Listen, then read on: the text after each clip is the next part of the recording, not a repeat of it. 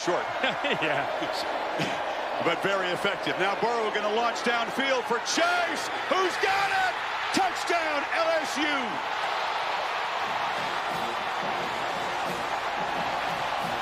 It took a while, but the Bayou Bengals offense says join the party.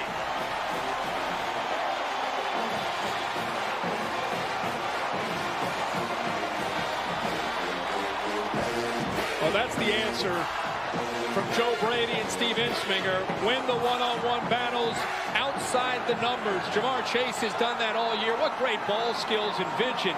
Battling there with Terrell.